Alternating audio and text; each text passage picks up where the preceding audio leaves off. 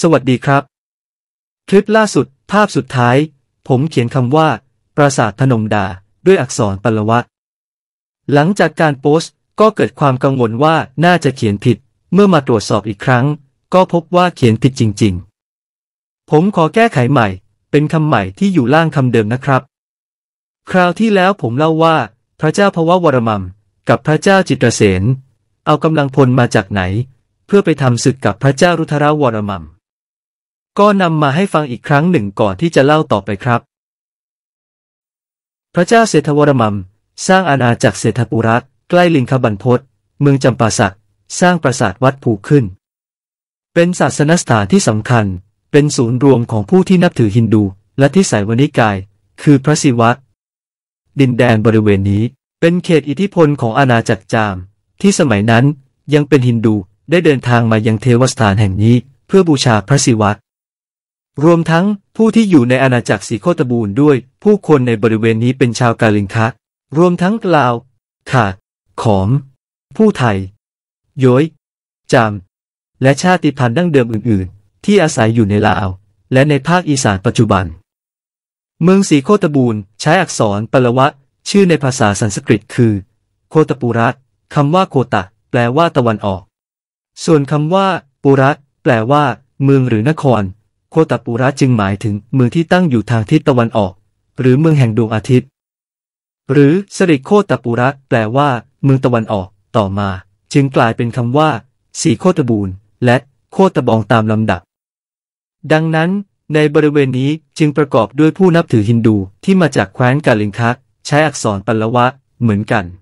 จึงสามารถรวบรวมผู้คนได้เป็นจำนวนมาก ทั้งมาจากตอนกลางของเวียดนามที่เป็นอาณาจักรจามป่า จากเมืองสีโคตบูรณ์และจากอีสานของสยามในสมัยนั้น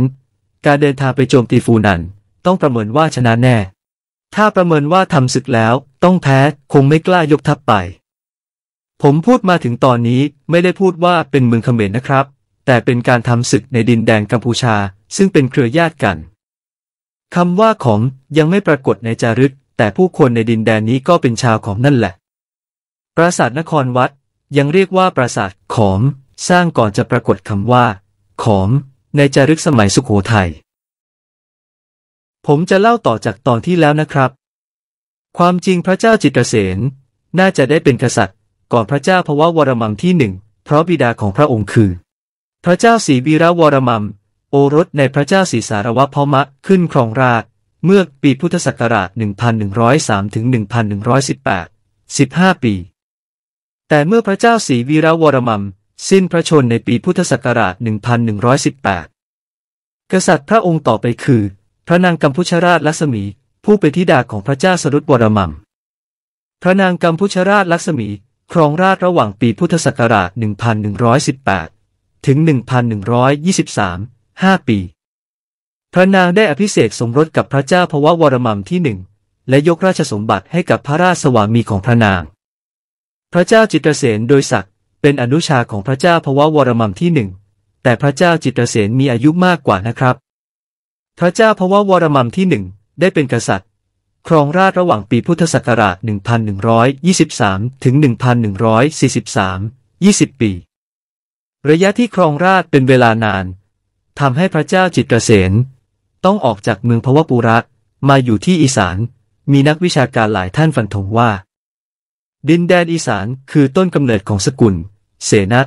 เพราะมาอยู่ที่นี่นาน พระเจ้าจิตรเสนสร้างปราสาทและสร้างศิลาจารึกจิตรเสน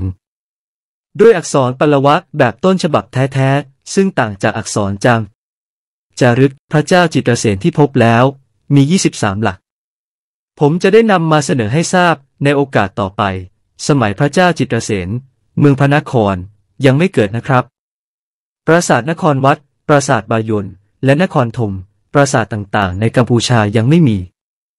ในกัมพูชามีปราสาทสองแห่งคือปราสาท พนมดา ที่สร้างโดยพระเจ้ารุทรวรมัมและปราสาทอาสมฤษี เท่านั้นที่สร้างโดยพระเจ้าพระวรมัมที่หนึ่งส่วนปราสาททาลาบริวัตในเขตสตึงแตรง ขณะนั้นยังอยู่ในเขตลาว มีปราสาทที่มีพระโคของพระศิวะยังอยู่ แต่แตกหักไปบางส่วนผมไปดูมาแล้ว ท้ายนี้ผมจะนำจารึกดงเมืองเตย ที่อำเภอคำเขื่อนแก้ว จังหวัดยโสธรมาให้ดูก่อน แล้วจะเล่ารายละเอียดให้ฟังในภายหลัง วันนี้เล่าให้ฟังเพียงเท่านี้ จะเล่าเรื่องใหม่ให้ฟังอีกในโอกาสต่อไปสำหรับวันนี้สวัสดีครับ